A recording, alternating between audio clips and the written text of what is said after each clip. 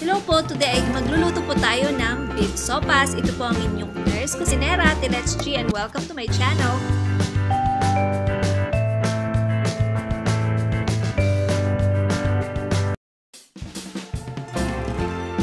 So narito po yung mga ingredients para sa ating recipe ngayon. Pinapakuluan natin yung neck bones. Beef neck bones. Kasi gagawin natin siyang parang sopa natin siya. Siguro mga isang oras pa. Mga 1 hour ko na siyang pinapakuluan. Pero matigas pa rin. Kaya tanggal lang natin yung mga dumikit dyan sa gilid-gilid.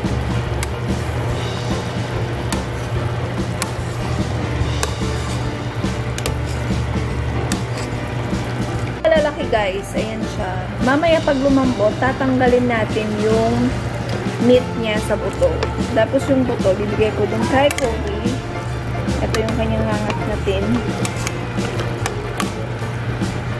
Ayan. Ewan ko mga 6 ata, 6 na peraso ata to. Tayo naman, lalagyan natin siya ng baby carrots. Tapos, yung bok choy, hiniwa-hiwa ko ng ganito. Paliliit. Igigisa natin siya mamaya sa bawang at sibuyas. Saka natin siya lalagyan ng macaroni. Gamitin natin ng macaroni dito sa ating sabaw. Ito, record. Ayan. Ito ang ating neck bones. Ito siya, guys. Okay. So, pwedeng kahit anong klase ng buto-buto dito sa ating recipe na to. Neck bones lang talaga yung available sa amin. Ito yung nabili namin na nakaraan. 3 hours, ito na siya, malambot na guys. So, ang gagawin ko lang is, ihiwalay ko yung meat dito sa bone. Ayan, ito yung una natin na cut. Natin siya ng mas maliliit. Tapos, ito yung bone.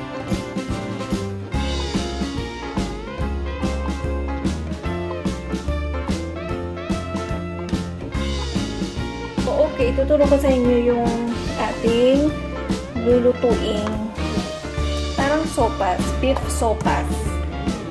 Um, beef soup with uh, vegetables. Ayan. So, buksan lang natin yung apoy. Yung ating beef stock, sinala ko na yan guys para mas, ano siya, clear. Ayan, save natin yan.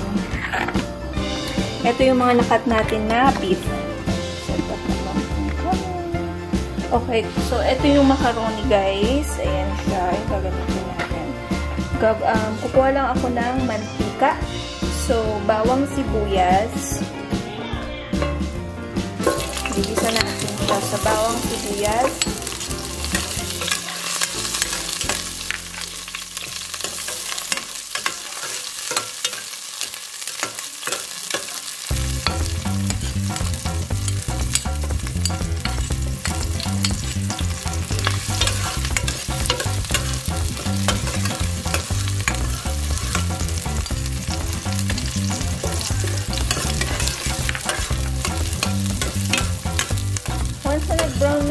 Bawang sibuyas, guys, pwede na natin ilagay yung ating nakat na beef. Ayan yung uh, beef.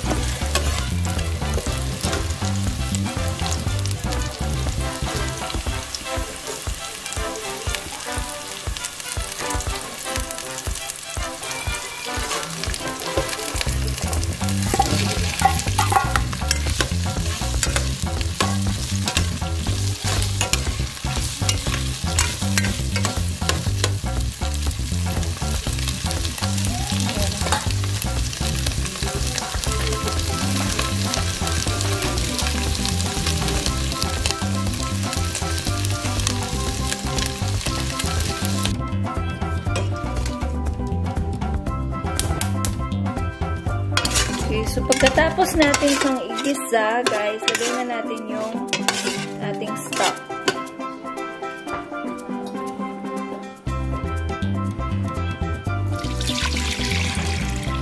Ayan.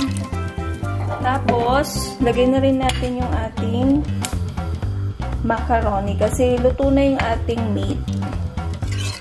Okay, lagay na natin yung mga macaroni natin. Today is Sunday.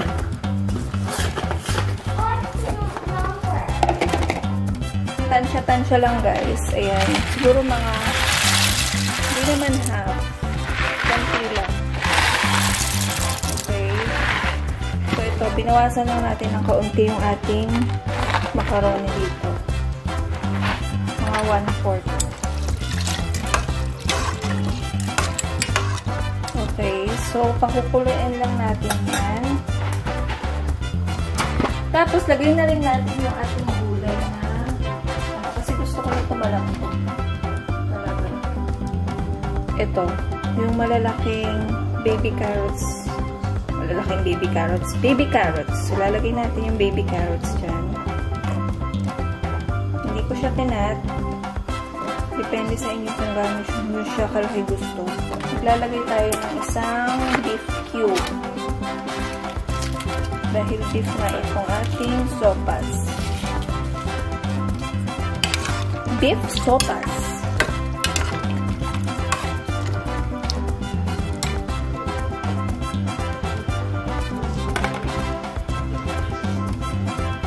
Dadagdag tayo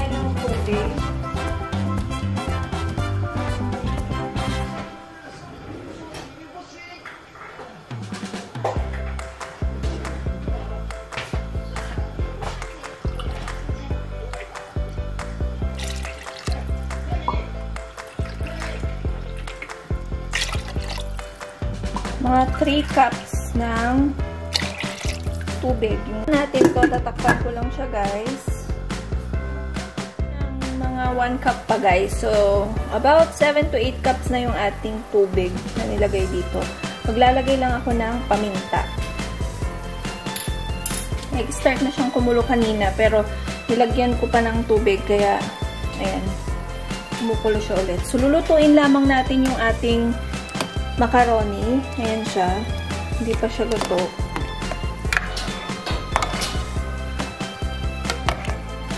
Again, malalaki yung guys yung carrots. Kung mapapansin nyo, super laki ng carrots. Ganyan talaga yung ano gusto natin ngayon. So, depende sa inyo. Pwede nyo yan i-cut ng maliliit kung gusto ninyo ng mas maliliit. Ating beef sopas guys. Ayan na siya. Niluluto na lang natin yung ating carrots kasi medyo matigas pa siya. Ayan. Pero tamang-tama na yung dami ng liquid at saka yung nilagay natin na sopas. Ayan siya. Uh, panghuli natin ilalagay yung dahon-dahon na um, gulay, yung ating bok choy. Pwede kayong maglagay ng repolyo kung wala kayong available na bok choy o kaya naman yung Meron akong napaka-cabbage dyan, pero mas prefer ko yung bok choy para dito sa ating sopa, ating bok choy. Okay? Ihuli natin yung um, vegetable na green. At na po yung ating carrots. Lagay na natin itong ating nakat na bok choy. Yan na yung ating last step.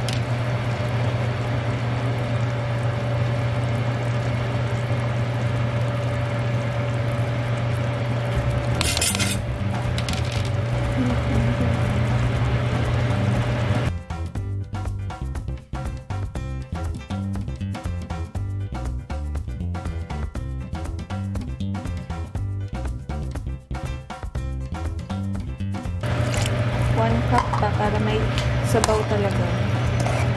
Kasi gusto natin may konting sabaw kahit papano na mahihigop yung mga kakain syempre. So, maglalagay tayo ng konting patis. Ayan, for seasoning. Pwede rin ng asin kung gusto ninyo. Tapos, takpan ulit natin.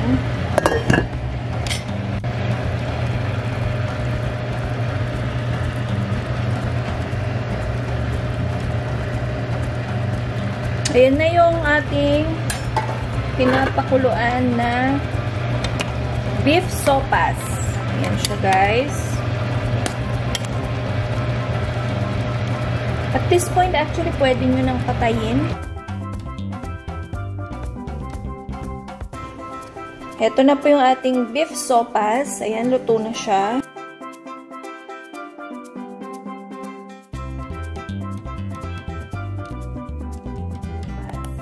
Pakita ko sa inyo yung ating niluto. Ayan siya. Sarap. Actually, masarap ito with kanin. Ayan. So, ganito na yung ating finished product.